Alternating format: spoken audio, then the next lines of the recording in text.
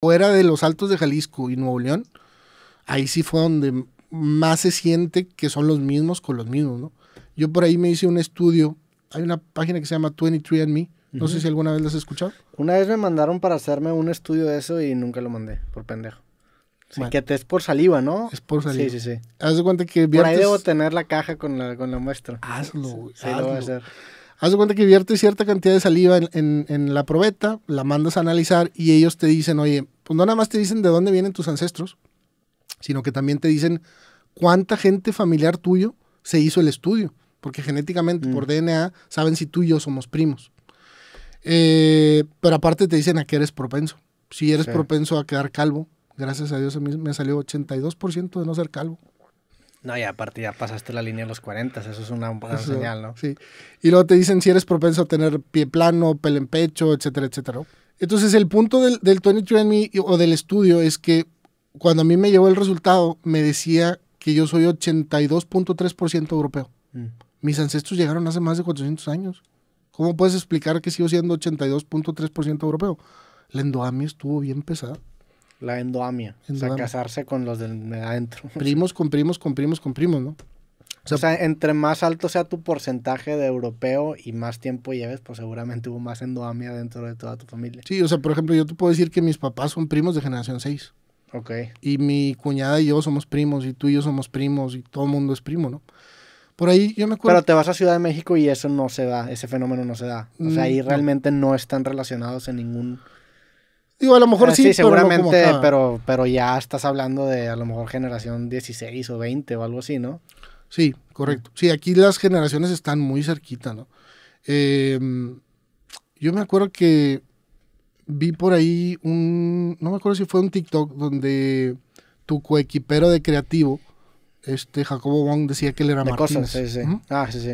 Ah, sí, de cosas. Él, él decía que su apellido no era, no era Wong, sino que era Martínez, ¿no? Y decía, muy probablemente, con quien yo hago mi podcast es primo mío, ¿no?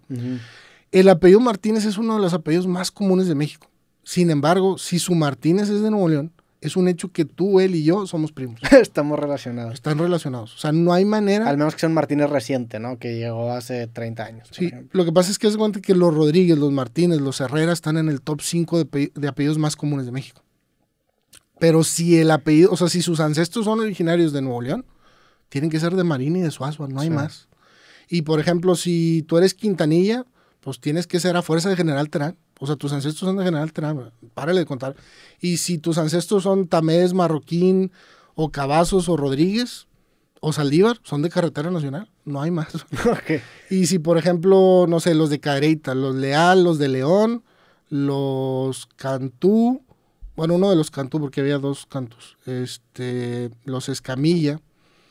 Por ejemplo, Franco Escamilla, ¿no? Yo sé que él no usa, el Escamilla es el apellido de la mamá, ¿no? Sí, pero Franco creo que nació en... en Pero la en- mamá en es el de Estado de. México, no sé. ¿Sí? Pero la mamá es de Ah, acá, ¿no? ok. Entonces, eh, a lo que voy es que si el Escamilla de Franco es de Cadereyta, tú y él son primos.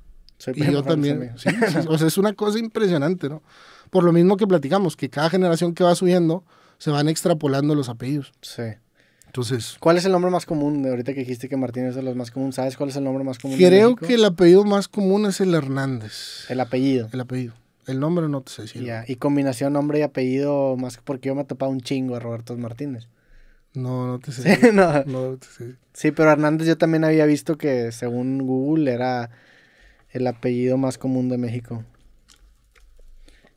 Sí, acá los más comunes que te vas a topar es Martínez, Mira, Garza, Hernández es el apellido más común de México, 3.85% de la población, según el cielo.org.mx, mientras que Fernández ocupa el tercer lugar en el ranking de apellidos en España. Sí, por ahí debe estar también el Martínez. Sí. Y regresando a lo que platicamos de los apellidos, por ejemplo, me, me traje un pequeño acordeón, porque son un, un montón de apellidos, ¿no? Pero, por ejemplo, los Lozano, pues son de San Nicolás, ¿no? Los Elizondo son de Apodaca. Los caballos, los cabazos son de, de San Nicolás y del Valle del Pinón, que es carretera nacional, ¿no? Los Gómez de Cerralbo, los García, esos sí son de todos lados. Los García son de todos lados. Sí, los Guajardo son de Apodaca, los Sepúlveda son de Valle García, eh, perdón, de Villa de García. Los Garza, pues hay de Apodaca, de San Nicolás, de Monterrey, Montemayor es Marín y Suazua, Martínez también Marín y Suazua, los Treviño de Monterrey, Los González, esos también vienen de muchos lados porque llegaron tres geniarcas de los González.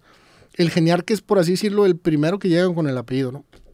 Por ejemplo, en el caso tuyo, pues el geniarca es este eh, que llega a Saltillo, ¿no? El, que tienes en tu generación 12, ¿no? Francisco Martínez Guajardo. Él se puede decir que es el geniarca de los Martínez Mm. en el noreste de México, ¿no? Y luego los Cantú son de eh, el Valle del Pilón y de Cadereyta, los Leal de Cadereyta, eh, los Caballeros son del Guajuco y del Valle del Pilón, los Aldívar también del Valle del Pilón, los de León de Cadereyta. Digo, son como 30 apellidos los que existen, ¿no? Y los de otras partes de México que tienen, por ejemplo, el apellido Martínez, ¿a qué ancestro se puede trazar? A otro Martínez que no necesariamente está relacionado con este Martínez que fue el que fue perseguido Sí. por el- la Inquisición, que eso abre la puerta para...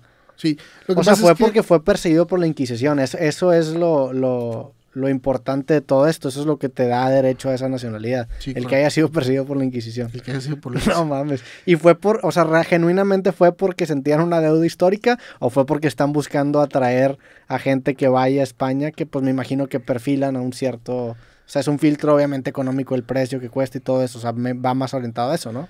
Mira, eh, la versión del rey de España es que están tratando de arreglar un problema de genocidio y expulsión, ¿no?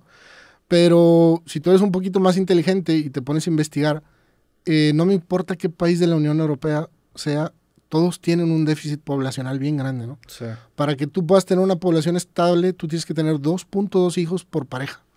En la península ibérica tienen 1.6. Ok. Entonces, si no arreglan ese problema ahorita, el día de mañana, ¿quién va a pagar la jubilación? Va a pasar lo que está pasando ahorita en Francia, ¿verdad? Que subieron Sí. la edad de jubilación y pues hay protestas y demás, ¿no? ¿Y eso está pasando en México también? Porque es- nuestros papás se pasaron de lanza y nuestros abuelos se pasaron de lanza con la cantidad de hijos que tuvieron o no? No, aquí tenemos como 3.2 o 3.6. en este momento. En este Ay, momento. cabrón. Sí, Y ya, pero pues en los 70 tenían más, ¿no? sí, pero como quieras sigue, sigue habiendo una tasa de crecimiento eh, Ya. en, que es creciente, Ya, ¿no? Por ya, así ya decirlo, ¿no? entendí, sí, sí. Aquí el tema de lo de la jubilación, pues yo creo que más bien es un tema de corrupción, no de población, ¿verdad? Sí, de, de mala administración de los recursos y... Sí, correcto. Órale.